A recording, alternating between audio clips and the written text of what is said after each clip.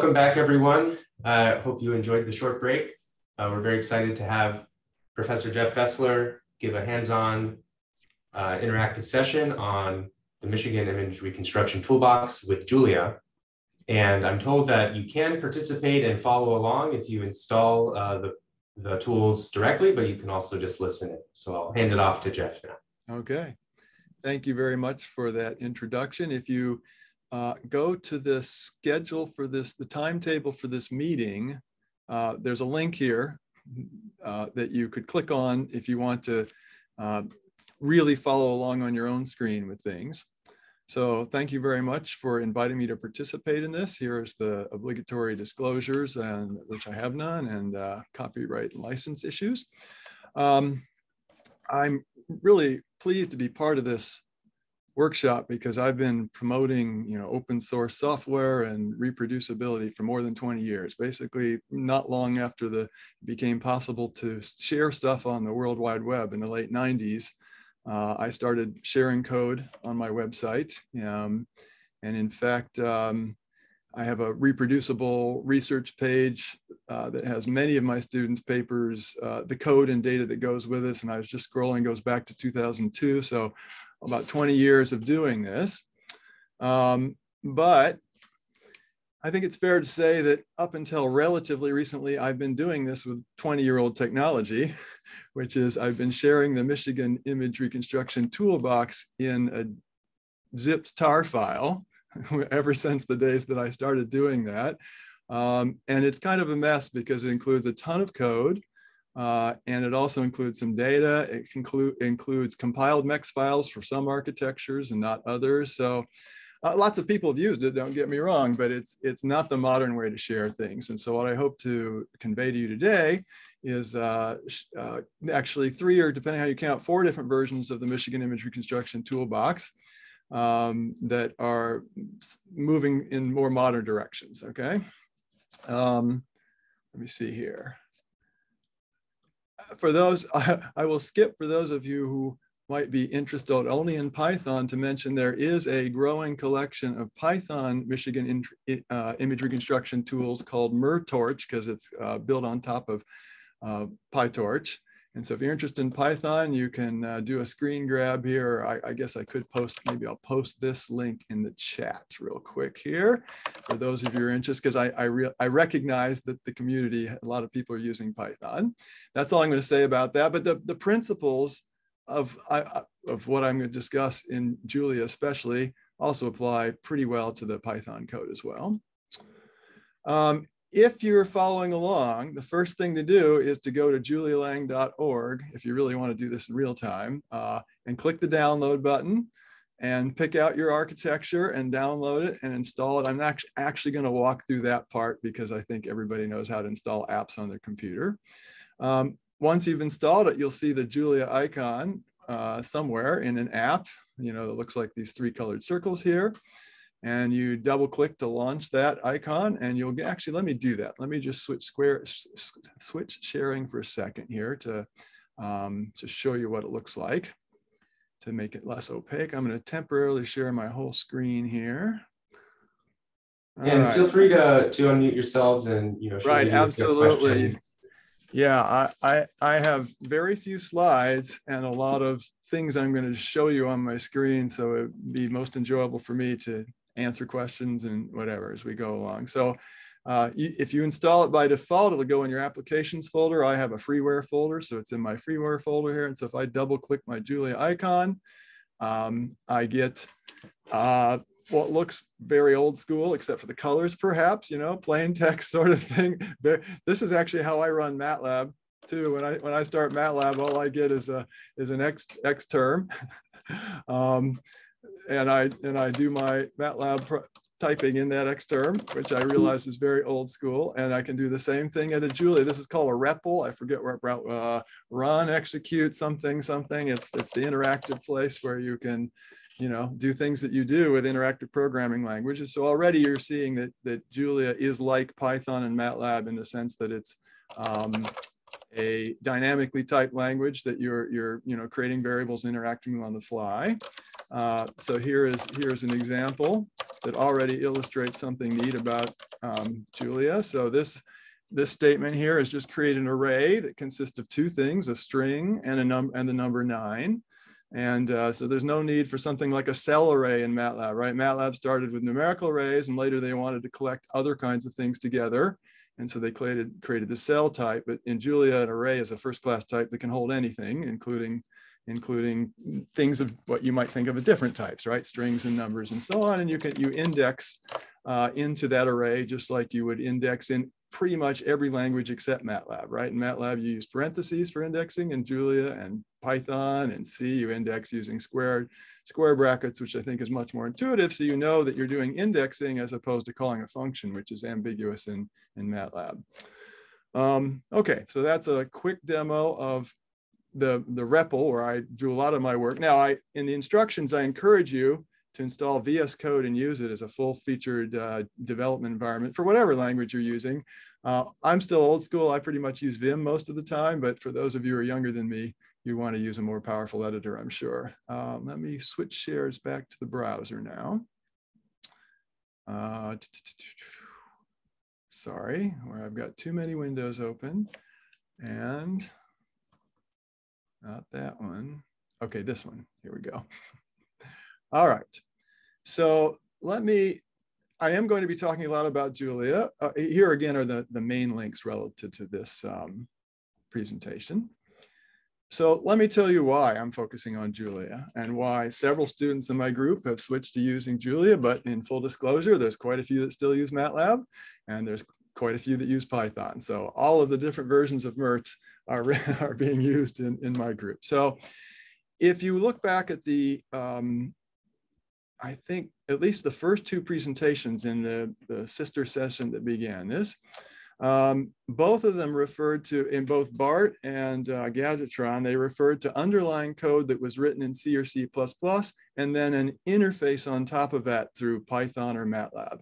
And that's what's known as the two language problem, that if you want efficiency, traditionally, you need to write your code in a compiled language like C or C++, but then if you want interactivity and convenience of use, you want Python or MATLAB type language, a dynamically typed language specifically uh, for those interactive activities. And Julia was really designed for scientific computing to solve that so-called two language problem because under the hood, uh, Julia is compiled using the LLVM compiler, which is state-of-the-art compiler. But as you just saw in my little example, you interact with it you're not aware there's a compiler under the hood. That, that statement that I typed there of, of creating array that was had a couple elements in it, that was actually being compiled as I said it or as I typed it. And uh, so, so the real one of the real reasons I love Julia is that I'm getting the performance of a compiled language. In fact, in MATLAB, as you know, you go to great lengths to avoid writing loops because those tend to be slow. It's perfectly fine if you want to write loops in Julia because they'll be compiled and they'll they'll execute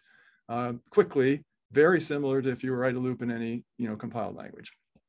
Um, but unlike traditional compiled languages like C or C++, uh, which aren't interactive, you know, this this is the experience of it is is like using Python or MATLAB, right? You're you're interacting at a at a REPL, and so you have dynamic variable typing um, and, and, the things that go with that. And, and if you like to work in an environment like a Jupyter notebook, you have that option. The JU in Jupyter, in fact, stands for Ju Julia, the PY for Python, and the R for the R statistics language.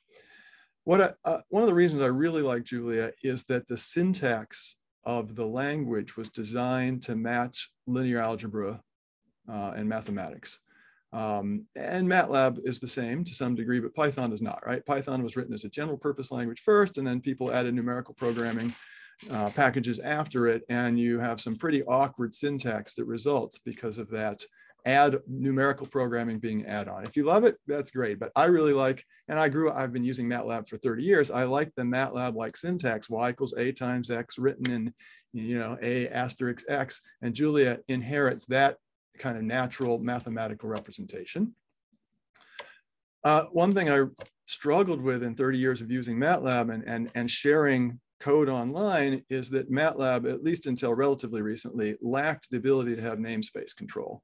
They added that eventually, but way too late for me. I had 100,000 lines of MATLAB already at the point they added that, and it would have broken too many things to, to start exploiting that. And there were many times over the course of the years of me distributing my, my MATLAB, the MIRT, the MATLAB-based um, image reconstruction package, that MATLAB would add a new function to the, one of their packages that would conflict with the name of one of my functions, and then I'd have to go rewrite things. You'll notice the more recent version, there's a lot of function names that are prefixed with IR underscore because I was trying to, to make sure that I wouldn't conflict with MATLAB functions of similar names. So Julia, like Python, has complete namespace control. So uh, by using statements like using an import, and you'll see that in the examples that I'm show you. And so it uh, avoids that problem that I had in years of working with MATLAB. Under the hood, um, the libraries that you're used to using in both MATLAB and Python are also being used in library. The linear algebra packages, the FFTW package. So the speed of those kinds of library calls is identical basically because you're uh, actually it might be faster in Julia because you're um, passing by by reference, whereas MATLAB makes a lot of copies of things when you're calling, uh, certainly when you're calling MEX files. I'm less sure about when you're calling these libraries. Um, so this conference reproducibility is a major theme and Julia has the best uh, uh, infrastructure for reproducibility that I've experienced yet. So associated with code that you release in Julia, you can include what's called a manifest that shows the exact versions of the libraries that were used at the time you you know wrote the code that you that you put in a certain paper so and the reason for it is that the whole thing the whole infrastructure is built on git and as those of you who used git know it there's you know everything that you do is tagged.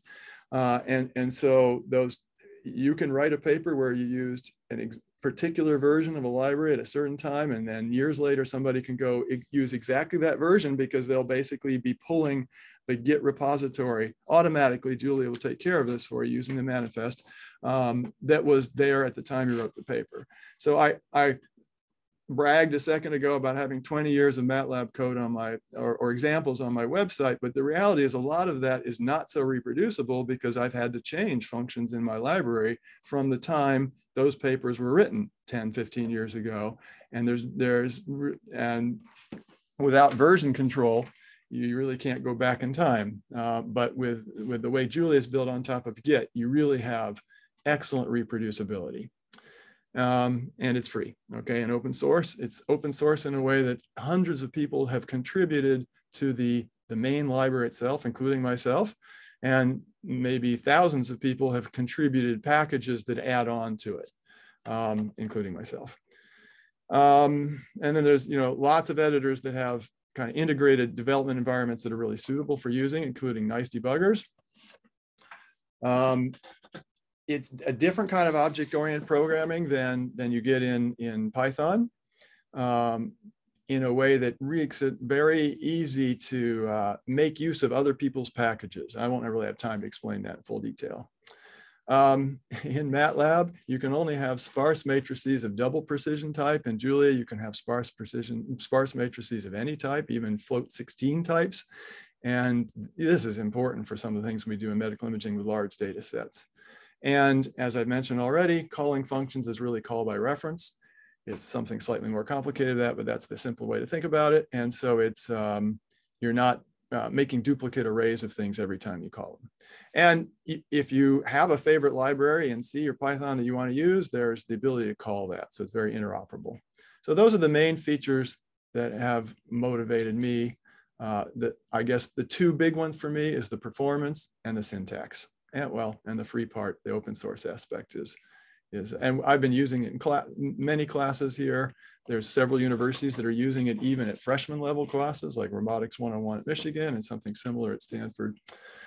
So with that, now let's get into image reconstruction. Anybody have, I see one thing in the chat. Let's see here. Um, oh, that was John just posting a link. Anybody have any questions about Julia before I dig into it a little bit? You'll probably have more questions once I start showing you code, but feel free to stop me at any point. Uh, let's see here. So now timetable. Oh, I do want to mention in terms of the MATLAB version, I would encourage you, especially as the MRI audience, not to download the gzip file anymore. Instead, uh, go to the GitHub version now. the only thing that's missing in the GitHub version is there's not all the data, but we have a, a, a, way that if you need to access certain data files, it'll automatically go fetch it from a different Git repo. That way the code repo is kept small. And also this doesn't include any MEX files, but there is an IR build MEX that will compile the MEX files that are relevant to the MRI audience uh, on your machine and your operating, your operating system, your version of MATLAB. So uh, you do have to have a compiler to, to run that. Somebody pointed out to me earlier that not all users have compilers, which I can't imagine anybody using image reconstruction toolbox who doesn't have a compiler, but I got an email about that. So now I'm going to focus on Julia the rest of the time, unless anybody has any specific questions about, um, about the other versions. Um, so what I'm showing you here is what looks to you like a web page. I mean, it is. This is HTML being rendered on, on my screen and being zoomed to you. But I wrote this as a Julia file. Um, well, actually, this particular page, I'm sorry, is actually uh, written as Markdown. So this is Markdown that gets turned into HTML. The code that I'm about to show you, let me uh, let me just see here. So if you, this is the this is where you then install the language if you the the app if you want the language, and then here's some getting started in, instructions. I'm going to start skipping to actual image reconstruction examples, right? Because that's where the bulk of our time should be. So what I'm showing you now, I'm going to start with a non-uniform fast Fourier transform because that's a tool my group has distributed for years that lots of people have used. And um, when I first started using Julia, I thought that I would need to port all that code to Julia, but it turns out another group had already written a uh, very nice non-uniform FFT language library. And so I just built, uh, built upon that. So uh, why, don't, why don't I give credit to where credit is due for that? Let me see. So NFFT.jl from Tobias Knopp, and I've contributed to this repo as well. You can see my avatar there. Um, super nice NUFFT package. It supports uh, multi-threading and, and uh, GPUs, way more features than my MATLAB version supports. So I, what I'm showing you here is built on top of that. Um, so what I did for this is I wrote one Julia file. I'll just click on this and show it to you. Then when you click on that link, it actually shows you exactly where it is in the repo, in the, the MIRT Julia version of the repo. And what you'll, so the pound sign is the comment sign in Julia. So the, the lines that start with pound are generally comments for Julia code, or in this case, that also includes some markdown, right? So the, the, the the headings here, for example, are in this Julia code. Um, and then I uh, push this to the cloud and through some configuration in the cloud, GitHub servers automatically convert this uh, into the HTML that you're looking at. They also convert it into a Python, uh, a Jupyter Notebook version that you can can view if you prefer, if you like to work with Jupyter Notebooks, the same code. And then it actually executes this Julia code and produces this HTML that shows the output, right? So I didn't do anything special to produce all these plots other than write Julia code that makes plots. And then in the cloud, it's automatically making um, what I'm going to be talking about today, that this, this uh, kind of demonstration. And to me, this is the ultimate in sort of reproducibility and code documentation, because what you're seeing here is both the comments, you know, sort of the, the documentation, if you will, well, part of the documentation anyway, the overview of it, the code itself. Um, you could, if you wanted to cut and paste these lines of codes into the Julia REPL as we speak, if you wanted to, I would say it's probably more natural to download the Julia file and, and include it um, or run it in, in an editor like VS Code, but you, you could just cut and paste these lines. And then you, you know, as I've been saying here, you can see the actual output. Um, and I've learned a lot of Julia, frankly, by looking at other people's similarly constructed documentation, right? It's very helpful to see the code and the output. I have a fair amount of documentation in my MATLAB version of the toolbox, but there's no graphics to go with it, right? There's just, you know, plain text comments. And I think we're imaging people, right? It's super helpful, I think, to actually see what you're going to get before you start uh, digging into some code and trying to learn what it's all about. Any questions? There was a question from Birkin. Uh, Birkin, I don't know if you want to unmute yourself. And, and yes. Yeah, I didn't want to interrupt. Yeah, thank you, Jeff, for the talk. Uh, I think one reason people have looked at Python recently is you know the presence of things like TensorFlow, PyTorch, Keras, etc. that makes uh, deep learning type research easier. Right. Uh, can you comment on the presence of such toolboxes in Julia? Is there any right. uh, yep. support in terms of? Uh, well, there are interfaces. You can call those toolbox from Julia. The, Julia has its own. Uh, the, the, the premier one I'd say is called uh, Flux. Uh, is a library that's designed for machine learning that my group has been using for these kinds of things. So uh, because Julia is a compiled language, you don't need to be locked into the particular functions provided by a specific library like whatever's in PyTorch. You can write Julia code. Oh, I should mention Julia code has what's called introspection. I'm not a computer science expert, but it basically has the ability to sort of uh, inspect itself and modify its code. And so therefore people have written auto differentiation tools for Julia that you can auto differentiate anything basically. So you don't have to be limited to whatever functions Google or Facebook provided in those libraries. You can write your own Julia code and then uh, get auto differentiation of it as something that's really built into the nature of the language itself. Um, but there are also ways to call uh, I haven't used I haven't used the way I know it's possible. It's definitely possible to call Python, and I've called some simple Python routines. I haven't personally called PyTorch, for example, or um, TensorFlow. Um, I think a lot of people who are Julia true believers like me are probably tending to use the, the the Julia native ones. That would be my answer to your question at this point. And I don't have examples of that today. And the reason for that, I mean, I do have students that are doing uh, machine learning based image reconstruction using all Julia, right? Uh, including that library I just showed you. Um, I haven't quite figured out how to make this kind of nice in the cloud demo of those because I'm not sure that the GitHub servers have GPUs on them, and I'm not sure they'd appreciate us up, uploading demos that take hours of training. There's probably some time limit on how, how long the continuous integration servers can run. So I haven't tried to do this version of it uh, yet thanks for the question. I knew I knew somebody was going to ask that, so I appreciate it. So there will not be any machine learning examples in this. Okay, I see some others in the chat. Jonathan, do you want to? I guess I'll I won't uh, just speak up. I'm, I'm monitoring the chat, but I don't see any other questions right. right now.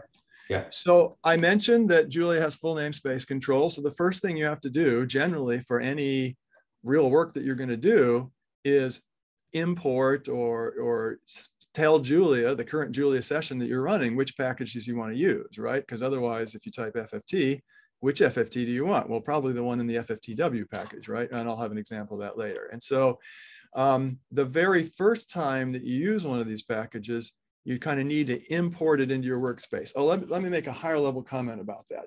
The way my, the MATLAB version of MIRT works it's kind of a kitchen sink, right? There's PET and SPECT and CT and MRI and regularizers and everything thrown in there. And when you download the, the or, or get do a git pull of the, the MATLAB version of MIRT, you get it all.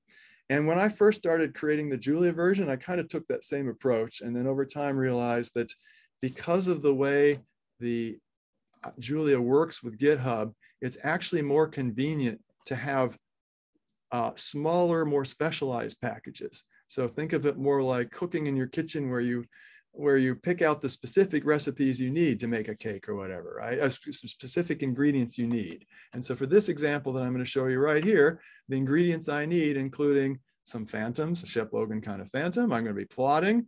I'm, I'm, Julia has the ability through library, through packages like this to actually do things with physical units. And so I wanted to demonstrate that here. I want some pretty strings in my plots. And then uh, I want to display some images. And then I actually will need a few tools from the MIRT version of Julia, which is still kind of a, a bit of a kitchen sink at this point, but will over time be kind of separated into more uh, distinct units. Uh, and specifically what I need from MIRT here is a, a, system operator that does the non-uniform fast Fourier transform, you know, A times X for an NUFFT, something that does left finite differences so that I can do total variation like regularization, and an iterative algorithm, which in this case is nonlinear conjugate gradient. Now, Julia does not require that you specify which functions out of a given package that you use. I'm doing this because I think it's helpful for me and for other readers of the code when you see okay, here's this function jim that's being called here. Where the heck did that come from? Is that built into Julia or did that come from somewhere else? And so if you look at the using statements up here, you can see that that function jim, which stands for Jiffy image display, um, uh, is coming from the MIRTjim package. So again, I wouldn't have to say that. I could have just said using MIRTjim, but I think it makes it much more clear. Also, this is how you get the namespace control. Imagine one of these other packages happened to have a function named Jim, Then you do need to qualify here so that you know exactly which one you're getting. Uh, you might, some of you have used my MATLAB toolbox might know that there's a, a, function in there called im, and you might wonder why did I change the name in Julia? Well, in, in Julia, im is the imaginary number, square root of negative one. And so I can't use the, we need that. So I had to use a different name uh, in the Julia version. So this is just a, like I said, Jiffy image display, like very similar to the M in the MATLAB version Let me see if there's anything else I want to say. So you, you can kind of get a sense from a preview. This is sort of a preview right here of what we're going to be doing, right? Making some phantoms with some units. Uh, at some point doing some NUFFT reconstruction and plotting and displaying them. I'll pause here for questions again. I'll ask a quick question. Uh, I think it's it's pretty interesting how the namespaces work. So looking at this, um, one thing I'm that I, I'm wondering is is which parts are part of your toolbox versus kind of other packages that have been contributed. Um, so I wrote image phantoms. Uh, I've contributed to Unitful a tiny bit. I wrote MIRTjim and I wrote MIRT. So about half of these are, you know, so some of these are mine. You can kind of guess, I guess, the more imaging ones. Um, I don't know if that answers your question. Um, yeah. So it's a very interactive. I mean, it's often the case that uh,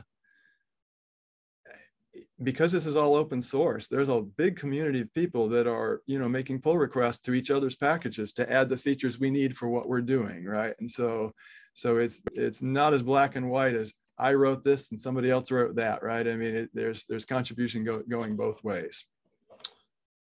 All right, so was there another question? Okay, just just pause me. I speak fast. I know. Just pause me at any time if you have questions. So for I thought I would start with radial sampling, just as an illustration of a typical non-Cartesian sampling here.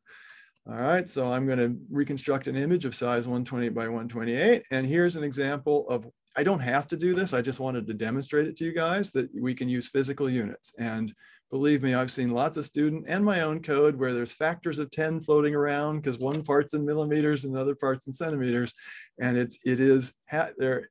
I'm trying to move towards unit, using units more and more. So that stuff is automatically taken care of. And so that we don't get bugs because of being off by factors of 10 or worse. Um, so, so far, this looks a lot like MATLAB code. In fact, uh, even this line, the colon here is a range, just like you would have in MATLAB. Uh, the difference is when you do a range in MATLAB, if you say 1 colon 99, it's actually going to create a, an array with 99 values in memory double precision by default. In Julia, it actually just store and like in Python, I believe, it actually just stores a range object. It's basically just storing the start and the end. And then when you actually need to do calculation later, it'll iterate over the over the, the numbers in that range, but it doesn't allocate up. You can have a, a range of a million numbers and it it's it's just a uh, it's more virtual than that, right? It's a special kind of object. Uh, the special divide by sign here is for integer division because I want to divide integers here because I want an integer range of, of um, you know, samples. Uh, they'll be scaled by my, my radius and k space. Um, let me see, I was going to, um, hmm, forgot what I was going to say about that. There's one more comment I had here, but I'll just go on. It'll come back to me. I'm, oh yeah, I remember. To get a symbol like this phi, it's very LaTeX-like. At the Julia REPL, I type backslash PHI and then hit tab. I could demonstrate that if I switch the view uh, and, and then it turns into the phi. You don't have to do that. You can totally write PHI out if you want, but it kind of makes the code look more like the math if you are so inclined to do that. So to make this divide sign at the REPL type backslash div, the, the, the LaTeX code for division. And this is all documented. The Julia uh, manual tells you all those LaTeX codes if you don't know, if you don't, and you don't have to use them, but, and Julia has like other, you know, has tab completion kind. Of, if you don't remember, you could type backslash DI and hit tab and it'll show you the options and you can pick out the one you want. So you'll see a lot of Greek letters and stuff in my code because I'm just taking advantage of that uh, to make it, again, look a little more like the math. All right, so I've got radial sampling in K-space here. I've got angular sampling, okay, with a, with a pi there. You can also spell out pi for pi. Uh, and then I want to, uh, at some point, I'm going to actually need the X and Y frequencies. And so here I'm using uh, a feature of Julia called broadcast. So in, in MATLAB, if you have a, a vector and you want to apply cosine to every element of the vector, you just type cosine of the variable name. Um, in Julia, you need to tell it that you want to apply cosine to every element of that uh, vector. And so the dot is what tells that. That means apply element-wise this function. And that might seem annoying to you at first if you come from MATLAB, like why do I have to type that dot? But that dot becomes incredibly powerful for other things where you have vectors that are lists of objects that you want to apply the same operation to. And all you have to do is apply that one dot and uh, a more complicated operation than cosine. It also makes things unambiguous. Uh, the square, if you need the square root of a matrix, you you do square root of a. If you want the element y square root, you do square root of dot, right? And so you you can tell as a reader whether this is a, a matrix operation or an element wise operation by the presence of that dot. Okay, so that was a lot of explanation just to get to the first part. And now finally I'm plotting um, uh, the radial k-space sampling. And you'll notice that thanks to this package called Unitful Recipes, uh, it automatically labeled I didn't tell it, right? When I pr produced the label, I just told it I wanted to be new X and new Y for the, and I'm not using KX and KY here because these are in physical units, you know, maybe K in a digital signal processing sense, it's more like integers, whatever. And, and that thing automatically recognized that this array has units. It has units here that are inverse millimeters because we divided by this pixel spacing right here. Of course, K space is cycles per millimeter, right? So it's showing inverse millimeters here. All right, so that's a plot of our K-space sampling. How am I doing on time? Okay, so we'll, we'll get to some reconstruction in a minute. Um, now, the way my NUFFT interface works here is I actually want units of radians per pixel. And so I'm converting to radians per pixel here. So here's another plot where we go from minus pi to pi. Uh, and now I'm creating a Shepp-Logan phantom here. You know, uh, there's different flavors of Shepp-Logan phantoms. You don't want the CT one when you're working with MRI data. And here I'm computing its spectrum, which is actually a function. And then that function can be evaluated at the, at the K-space locations in the appropriate units. Um, this Shepp-Logan phantom actually has units in its dimensions. Uh, and again, this dot means element wise. This is a function I'm applying elements wise to all of the X and Y K-space frequency locations. And now I have K-space data. And now I'm displaying the K-space data in polar coordinates here, um, uh, radial and angular coordinates. coordinates. And not everything yet supports units. So at this point, I gave up on the units and I've normalized the data divided by its units um, because I think the FFT library doesn't support units. And so that would be a future enhancement needed if we wanted to keep the units going all the way through the FFT. All right, so let's start with the simplest form of image reconstruction, which is just gridding here. And so here I'm using an existing package that has a histogram in it because the most simple version of gridding where you just put every k-space sample in its nearest Cartesian grid neighbor, that's basically the same as a histogram uh, in statistics, a weighted histogram, right, weighted by the k-space data value. And sadly, the, the stat, stat package doesn't yet support um, complex numbers, so I had to separately do a histogram of the real and the imaginary parts. You can imagine why a statistics uh, package might not support complex numbers for the weights in a histogram, but we of course need that in MRI. So I have this workaround. I have a pull request in there to ask them to support complex numbers. We'll see if they uh, uh, do that. And of course, when you just do that kind of uh, really crude nearest neighbor kind of gridding, let me just see what else. Okay, so I histogram the k-space data. Uh, and then I do an IFFT with appropriate FFT shifts. And so there I'm using something straight out of the FFT library. It's the same under the hoods, the same stuff you'd be using in MATLAB and presumably Python as well. And then I'm labeling it uh, not in terms of pixels, but in terms of the pixel size in millimeters here. And it's a terrible reconstruction because that kind of nearest neighbor gridding works terrible. But that's, you know, ba there's basically really one line of code here, which is calling a histogram function with, it would have been one line if they supported complex data. Uh, by the way, this is this is what the actual phantom looks like. So you can see we're not very close in reconstruction quality yet. So now let's get to non-uniform FFT approach to gridding.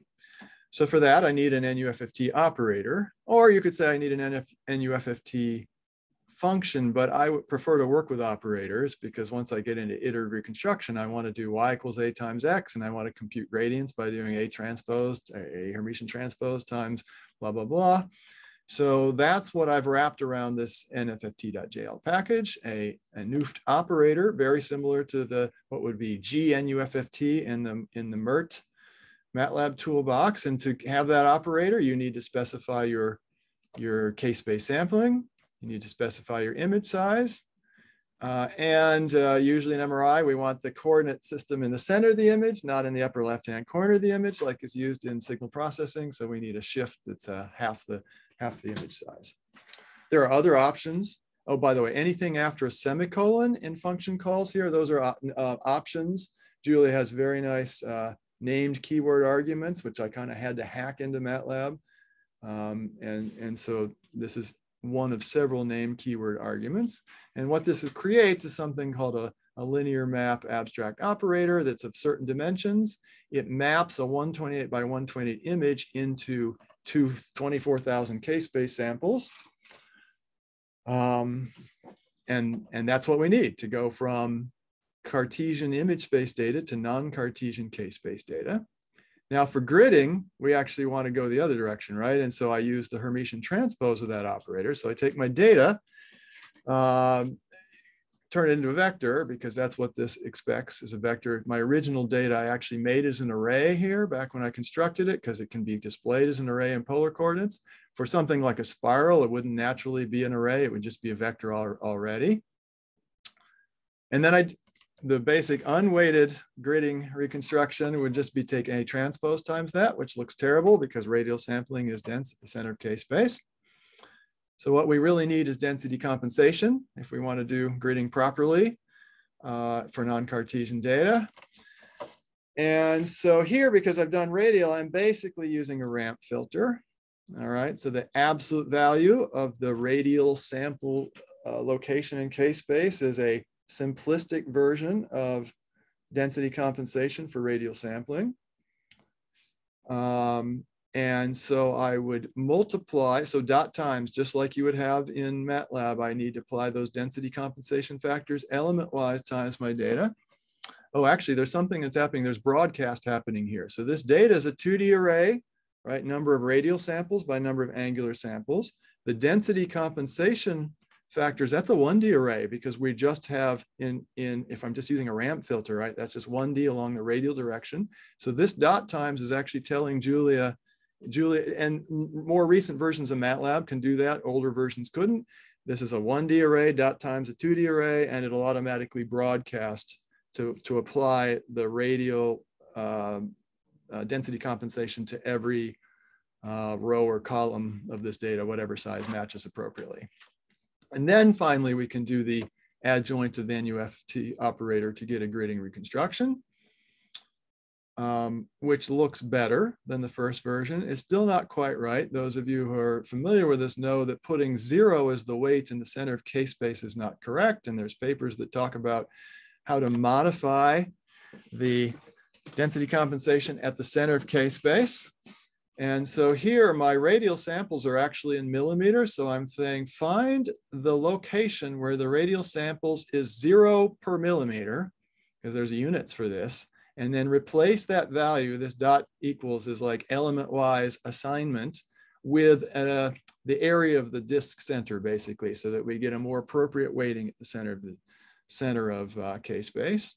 And then again, apply gridding reconstruction, and now you can see it's more reasonable quality. So um, I'll pause there for questions because now I've illustrated kind of three different approaches to gridding reconstruction with NUFFT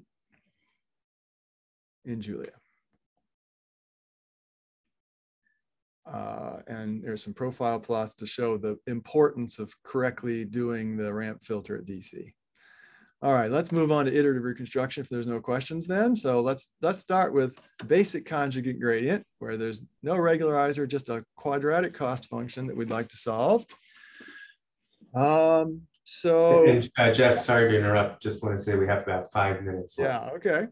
We won't get through all the examples. So I created NUFFT, a compressed system example, dynamic examples. I think you guys get the idea now, and you can you can read this to yourself just as well as I can read it to you after this. So I will just probably finish the rest of this. Oh, should I be allowing time for questions, Jonathan? Was that part of the hint? I mean, take questions all along, but should I be allowing extra time? I, I think if people have questions, really encourage you just interrupt. So exactly. keep going. So you could, of course, write a special purpose conjugate gradient algorithm just for this cost function, but I prefer code reusability. So I've written a general purpose conjugate gradient function that can that can work with any cost function where you supply the gradient. That's what you need for the gradient, right? Uh, you also need something for the step sizes. So you need some curvatures to compute the step sizes. So the gradient, so this is a uh, least squares function that involves, you know, ax minus y. And so at, at its heart, it's just this two norm and the gradient of that is just, if you take the gradient of that, is just the argument minus y.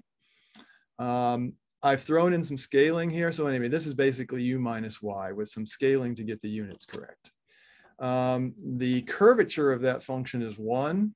My conjugate gradient algorithm needs that. So finally, so this is overkill. I'm applying a nonlinear conjugate gradient algorithm, but this, this could use the ordinary conjugate gradient algorithm here. And I'm telling it to run 20 iterations. And as initial guess here, I'm using the most recent gridding reconstruction that I showed you, that fourth gridding example. Uh, and you know, this is a function that I wrote. It's in the MIRT version of Julia, and you could dig into it and look at all its options, but it's basically what you'd expect it needs. It needs the system matrix, it needs the gradient of the cost function, needs a, something related to its curvature as well, for which goes into step sizes, and initial guess and number of iterations. And now you see a better image quality. Now, of course, we can get better image quality by including regularization, and so for that, I've several these, I've several different regularizers in the different examples. Here, I'm just using finite differences with a edge preserving potential function. So this is very similar to total variation, except I'm rounding the corner so that I can keep using uh, conjugate gradient to keep it differentiable. And so here I'm actually uh, using Julia notation in math. So uh, you might write the one norm of t times x, but that wouldn't have the corner rounding. So this is what this means is take the finite differences of the image X, apply a corner rounded one norm element wise to that array of finite differences, and then multiplying one transpose means add all those up. So if this function phi were the absolute value function, this would be a, a way of writing the one norm of t times x, but this is more general because I can replace the one norm with other potential functions. And in fact, I use something here called the fair potential function, which is a rounded version of the, of the uh, absolute value function.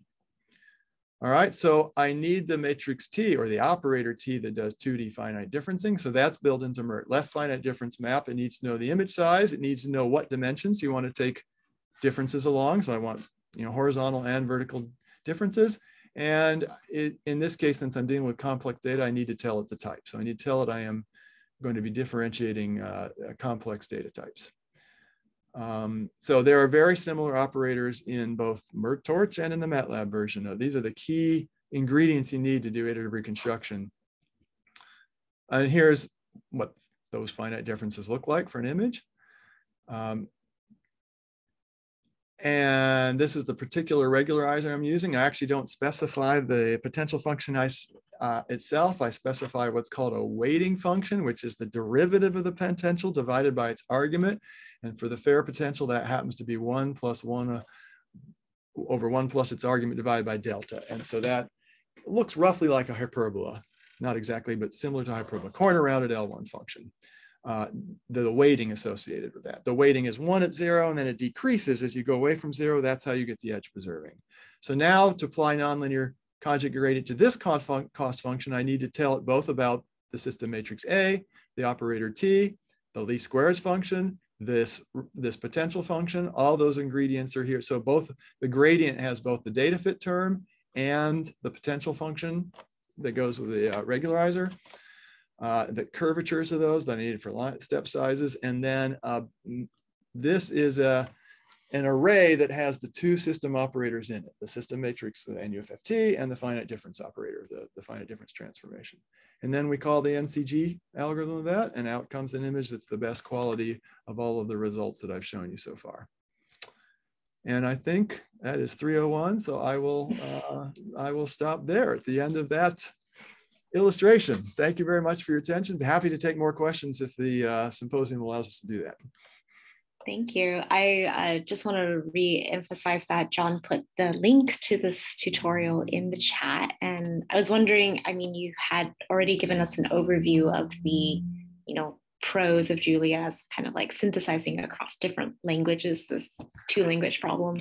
Um, for someone who hasn't used Julia before, are there any cautionary tales or actually special tips to you know take most advantage of it that you would give oh oh okay. as I a closing statement. I thought we were going to ask about cons. Uh, let me see. Uh, that too. Uh, uh just uh, pitfalls that we I, should be aware of to be most effective with it. Um, so the the most annoying thing about Julia, because it's compiled, we have what's called the time to first plot. The, the, the, time when you first start a Julia session and you plot something, it actually has to compile the plotting routines. And so it's a little annoyingly long gotcha. to get your first plot. But after that, it's fine. Okay.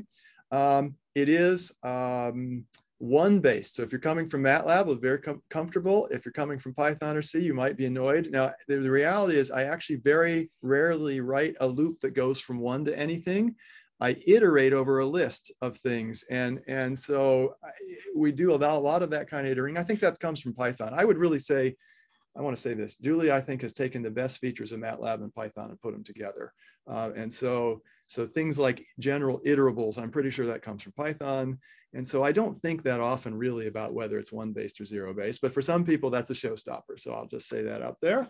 Um, but in fact, it Julia does allow arbitrary array indexing. So for example, there's a package called FFTViews that you can wrap around the spectrum of a signal and then index it from minus n over 2 to n over 2 minus 1, just like you would often want to do in signal processing. So you're not forced to use, it's one indexing by default, but you can uh, wrap or, uh, arrays it with other indexing, including zero indexing if you really want.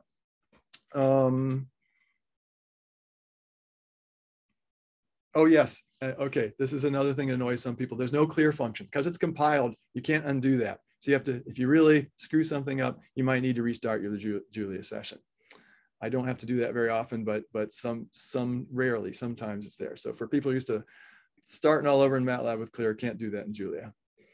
Um, so I think these were the main caveats. And this is from a previous, I gave a about one hour overview of Julian computational imaging, and there's a link to that talk on my website if you want to learn more details about it. Okay. Jeff, let me ask a quick question, um, because uh, you know the theme of this of this session was a lot on clinical recon. Ah, yes. see this as being useful out of the box for clinical use? I think there's a ways to go there, right? I think this is, I, you know, maybe I'm biased because of who I am, but I think this is for developers at this point, really people who want to develop new algorithms to try them out. Now, because it's compiled, um, I think it could be that it could uh, fit nicely into some of those more integrated packages in the long run. I don't know anybody who's tried to do that yet. Uh, I have had students call go both ways. You can call MATLAB from from Julia, and you can call Julia from MATLab. Uh, did I say this? You can call you can both ways, and also with Python. And so I see no reason why in Gadgetron you couldn't pass an array to a compiled, basically compiled Julia routine, have it do its magic and return. But I haven't attempted any of those integrations myself yet. I think that's a great question uh, to, to ask. And uh, um, I hope that as these tools that I and others are developing here, there'll be more opportunities to explore that. Great question. Any last minute questions from the audience?